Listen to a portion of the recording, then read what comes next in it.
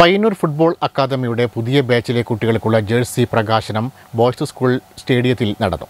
ചലച്ചിത്ര താരം രാജേഷ് മാധവൻ ജേഴ്സി പ്രകാശനം നിർവഹിച്ചു. ഉത്തര കേരളത്തിലെ പ്രധാന ഫുട്ബോൾ അക്കാദമിയായി മാറിയ പയ്യന്നൂർ ഫുട്ബോൾ അക്കാദമിയുടെ പുതിയ ബാച്ചിലെ കുട്ടികൾക്കുള്ള ജേഴ്സി പ്രകാശനം ബോയ്സ് സ്കൂൾ സ്റ്റേഡിയത്തിൽ ചലച്ചിത്ര താരം രാജേഷ് മാധവൻ നിർവഹിച്ചു. രണ്ടായിരത്തി പതിനെട്ടിൽ ആരംഭിച്ച അക്കാദമിയുടെ നാലാമത്തെ ബാച്ചിലെ കുട്ടികൾക്കായുള്ള ജേഴ്സി പ്രകാശനമാണ് നടന്നത്. ഇരുന്നൂറോളം കുട്ടികളാണ് പുതിയ ബാച്ചിൽ പരിശീലനം നേടുന്നത്.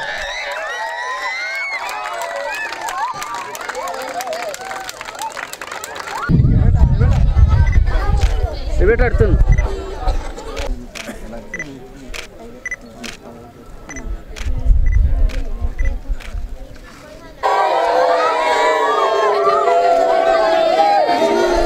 എനിക്ക് ഞാനിങ്ങനെ പൊതുവേദികളിൽ അധികം പങ്കെടുക്കാറില്ല.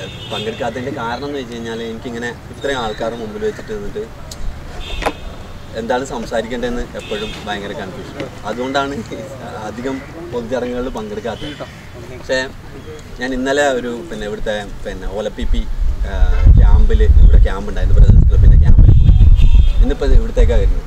എന്താണെന്ന് പറഞ്ഞു കഴിഞ്ഞാൽ ഈ വെക്കേഷൻ ടൈമിലൊക്കെ എന്റെ സമയത്ത് എന്റെ നാട്ടിൽ കാസർഗോഡ് കുണ്ടംകുഴി ഭാഗത്ത് ഞങ്ങൾ ക്യാമ്പ് വെക്കും. ചടങ്ങിൽ അക്കാദമി ചെയർമാൻ ടി വിശ്വനാഥൻ അധ്യക്ഷനായി. Secretary K Shaiju K Raveendran P Shyamala Pothera Krishnan C V Dileep Babin Muhammad എന്നിവർ പങ്കെടുത്തു.